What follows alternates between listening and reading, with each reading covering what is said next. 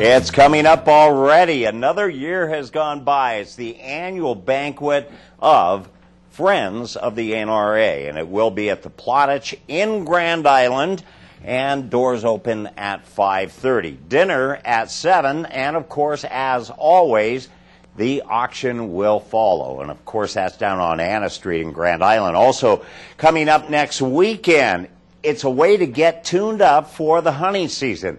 They're going to have simulated stations of birds flying out, rabbits running across the ground, all sorts of things, and it should be a fun time.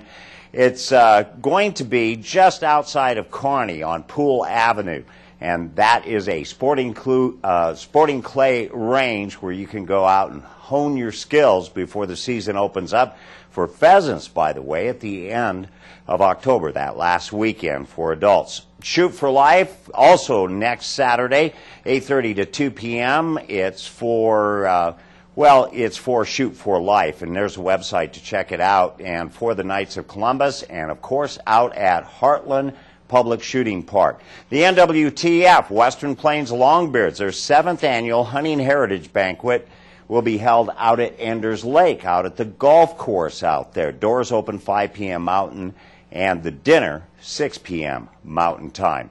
Platte River Chapter 555 16th Annual Banquet Pheasants Forever also coming up next Saturday.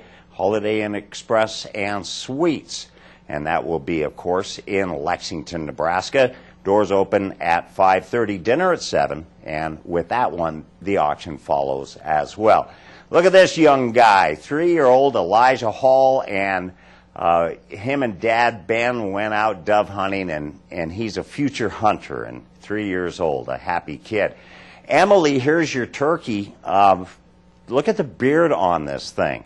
Uh, what a big bird. And that's just a reminder that, of course, fall turkey season is on right now, and of course, it goes this year all the way into the end of January. So, you got a long time. You can get a Christmas turkey this year and a Thanksgiving bird as well. Send those pictures to me at kboughton at nebraska.tv and check out these websites as well.